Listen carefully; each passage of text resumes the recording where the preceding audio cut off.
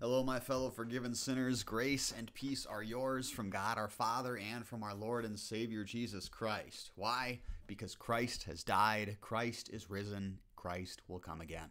These are the three truths that we focused on last time in the story of the scriptures and are, frankly, a good summary of Christianity uh, as a whole. Uh, now, uh, as we start the book of Acts, or the Acts of the Apostles, uh, this book shows us that God did not complete his work with Jesus' death and resurrection. God wanted to spread this good news of repentance and salvation to the ends of the earth, and God is going to do just that through the Holy Spirit working in Christians throughout the world. Today, we see the beginnings of the Christian church so that we can better know what it is and what it is doing, uh, both back in history and also in our day. Acts begins with uh, the ascension of Jesus. After Jesus' resurrection, he continued to meet with his disciples for about 40 days. Um, for 40 days. And uh, at the end of this, Jesus met with his disciples at the Mount of Olives. He told them to wait in Jerusalem for the gift of the Holy Spirit. The disciples asked if uh, Jesus was now going to restore the kingdom to Israel, but Jesus told them it was not for them to know God's timetable. Instead, uh, they would soon receive power to be Christ's witnesses, starting in Jerusalem and going out to the ends of the earth. As Jesus spoke, he was taken up uh, until a cloud hid him from the uh, from sight there were suddenly two men in white next to the disciples, uh, and they told them that this same Jesus who was taken up into heaven would come back in the same way that he had went or that he had gone. Um, the disciples returned to Jerusalem and they spent 10 days uh, mostly just praying. Uh, they also chose a replacement for Judas, a man named Matthias, who had been with them for all of Jesus' ministry and who had uh, seen the risen Christ. That 10th day was Pentecost. This was another Jewish festival. It was celebrated 50 days after Passover. At, uh, as Jesus uh, just like at Jesus' death and resurrection, uh, this major event for the Christian timeline also took place when Jerusalem was crowded with Jews who wanted to celebrate the festival. Uh, the, the disciples were together praying again, uh, like they had been doing for the past 10 days, when suddenly there was this sound of a powerful wind. Uh, they saw what looked like flames of fire separate and rest on each of their heads, and all of them were filled with the Holy Spirit, and suddenly they were given the ability to speak in different languages, languages that they had never studied or learned for themselves. Uh, they were just enabled to do this. The disciples ended up out in the uh, city streets, and a crowd had gathered around them because they had heard of the disciples speaking in their la- native languages. If you've been with us through the story of the scriptures, you'll remember that previously um, the Jews had been scattered among the nations. Uh, so there were Jews all over the world at this time, uh, and many of the Jews uh, would return to Jerusalem for the festival, uh, for the various festivals uh, of, of the Jewish calendar. But they would not be able to speak their native languages there. They would speak uh, a more universal language that everybody else spoke. Uh, but somehow they heard all these uneducated disciples of Jesus able to speak in their native, their home languages, uh, where they were telling them, or what, where the disciples were telling them the glories of God. Uh, many of them were amazed, but some of them uh, made fun of the disciples. They said that they were too drunk, they had had too much wine. Um, and they probably thought it was ridiculous that a man could be raised from the dead. Well, at this point, Peter stood up to preach. Peter declared that this was not drunkenness. Instead, this was the fulfillment of the prophecy found in Joel chapter 2, which said that God would pour out his Spirit on all people so that everyone who calls on the name of the Lord would be saved. And sure enough, to this day, people all over the world have access to God's Word. Before Christ, God gave special revelations only to certain people, but in our day, almost anyone can open up the Scriptures and learn God's words. Peter went on to tell the crowd about Jesus, whom they had put to death, but whom God had raised from the dead, declaring him to be both Lord and Messiah. The crowds were terrified uh, by this news, and they asked if uh, they asked what they could do. And Peter replied, "Repent and be baptized, every one of you, in the name of Jesus Christ, for the forgiveness of your sins, and you will receive the gift of the Holy Spirit." Peter went on to say, "This uh, promise is for you and your children, and for all who are far off, for all whom the Lord our God will call. Peter said more in his sermon, uh, and we hear that uh, after Peter preached here, 3,000 joined their number that day. Next, we get a, a summary of what the early Christians did. It says they devoted themselves to the apostles' teaching and to fellowship, to the breaking of bread, and to prayer. And this is really a good blueprint for Christian churches, uh, Christian congregations today. We ought to gather together in order to give ourselves fully to what the apostles taught. That's what we find in the Bible. Uh, so, Bible study. Uh, we should be gathering to celebrate the Lord's Supper. Uh, we should be gathering together uh, with our fellow Christians, getting to know each other, growing together uh, as we grow in the Word together. Uh, so, growing closer to one another. and prayer, finally. Uh, so if Christians are not doing these things, we really should seriously question if we really are Christian, right? Uh, if, if we're not following what the Bible says, what the early church established for us to do, uh, then we should really question whether or not we are actually Christians or if we're just making stuff up. Um, in, in addition to these four things, we hear a few other activities of the early Christian church. They uh, marveled at the miracles that the apostles performed. They shared their possessions with one another and even sold property in order to provide for those who had need. Uh, every day they would gather in the temple. Uh, together, they would eat together and they would praise God, uh, and God was daily adding to their number. Here, too, we find another good example for Christians.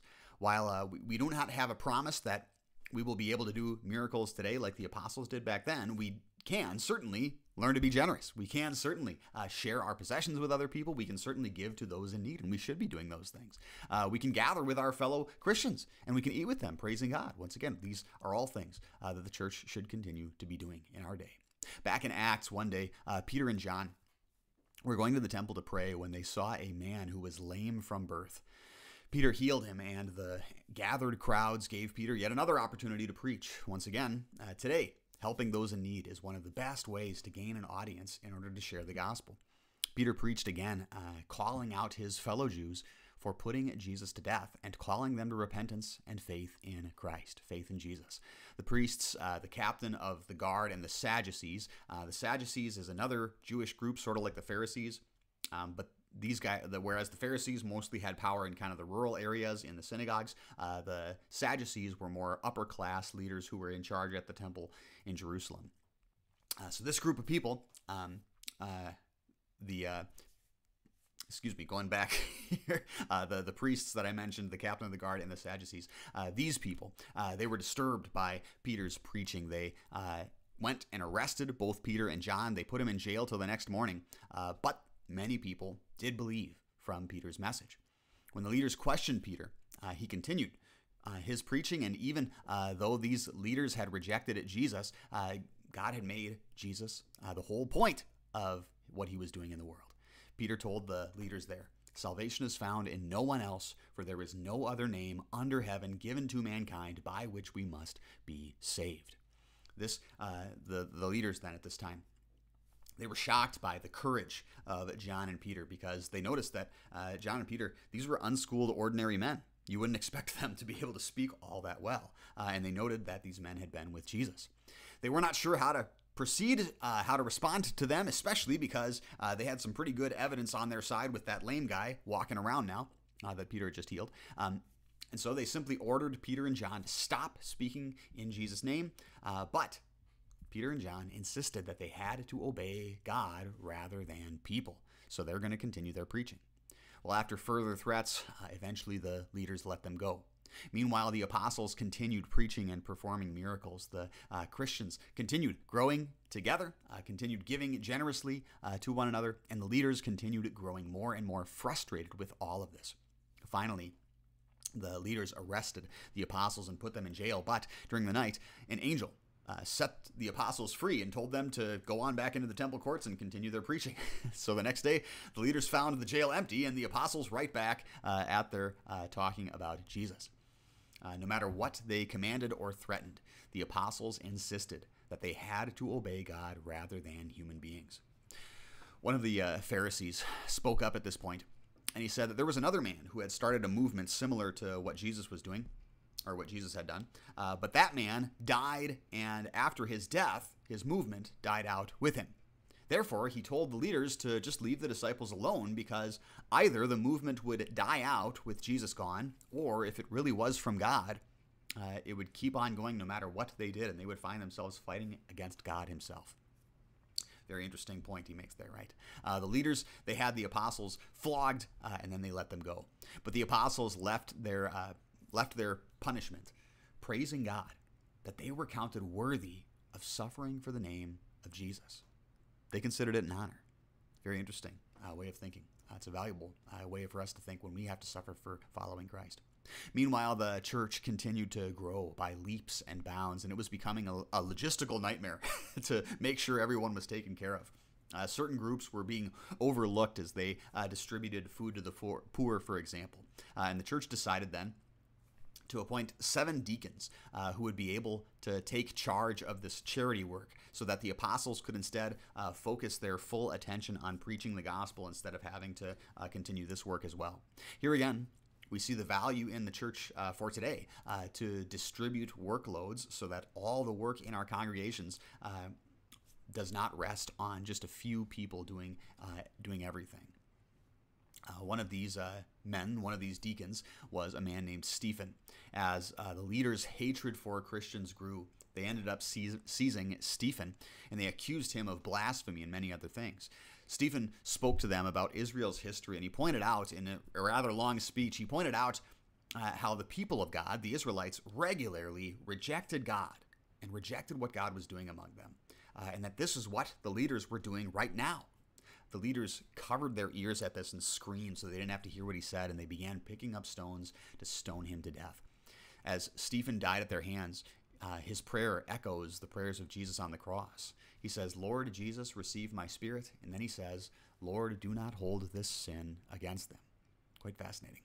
Well, Stephen's death had now opened the floodgates. The Jewish leaders had now fully embraced violence as a way to stamp out Christianity.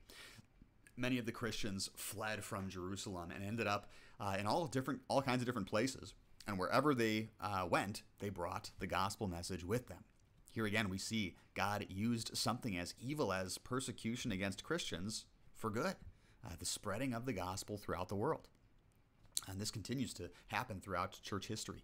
There was a, a certain uh, Pharisee named Saul, uh, and he was actually uh, there at Stephen's death. He was happy to see Stephen dead. Um, and he was particularly passionate about persecuting Christians. He zealously sought out uh, Christians wherever he could. He arrested them, and then he saw that they also were put to death for the crime of blasphemy.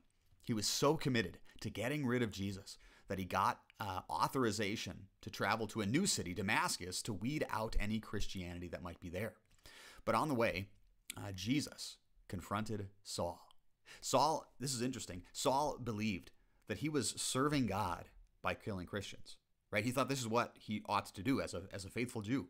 Uh, and suddenly now, as Jesus confronts him, he realized that his best effort, efforts at doing the right thing had only made him that much more evil, that much more offensive to the holy God that he was trying to serve.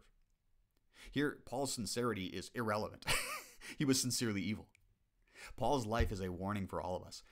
Even our best efforts at morality are offensive to God. Isaiah wrote, long before this part of the history, uh, that our righteous acts are filthy rags in God's sight. This is why all people need to repent and have faith in Jesus. There, we often think that it's, it's just the really bad people, or the people I personally consider bad, who need to repent. No, I do. You do as well. Every single one of us needs repentance and faith in Jesus.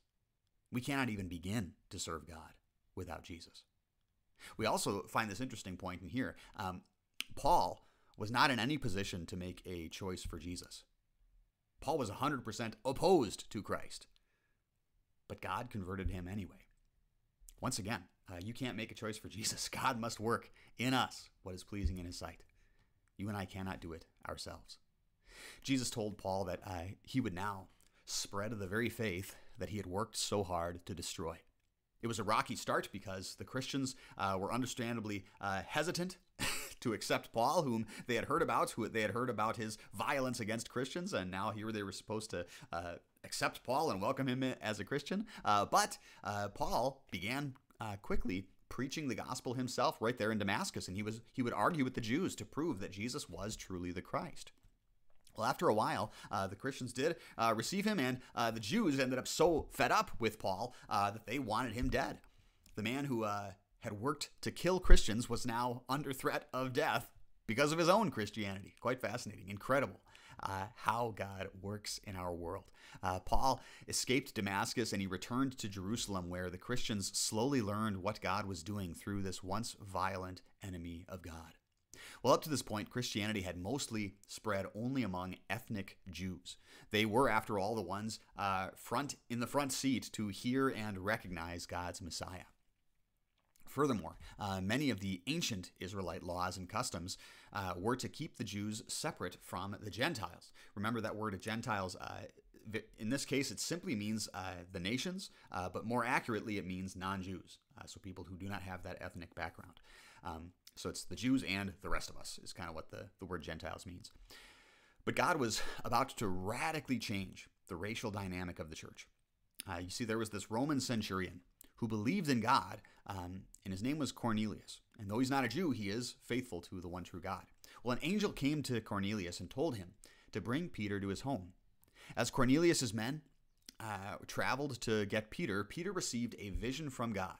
Three times, God put a uh, uncle- or a, a blanket in front of Peter with unclean animals in it, and Peter was told to kill and eat.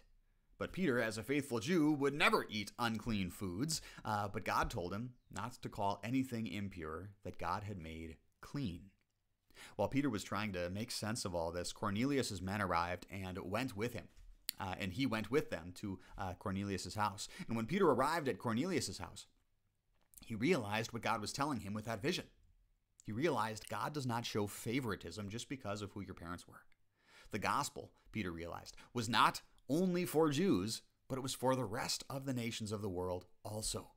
As Peter spoke the gospel to them, these Gentiles also received the gift of the Holy Spirit and were baptized. And from this moment on, the Christians began spreading the gospel message to all people, regardless of their race and ethnicity. This started the uh, early missionary efforts of the early Christian church that began spreading the gospel to the ends of the earth, just as Jesus commanded us.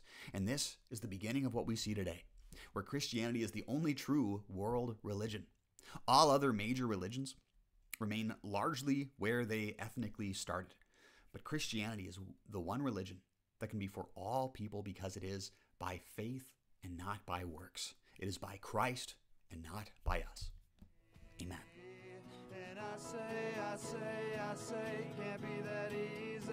And he said, he said, and no, it wasn't easy. But be still and know that I am God. Be still and know that I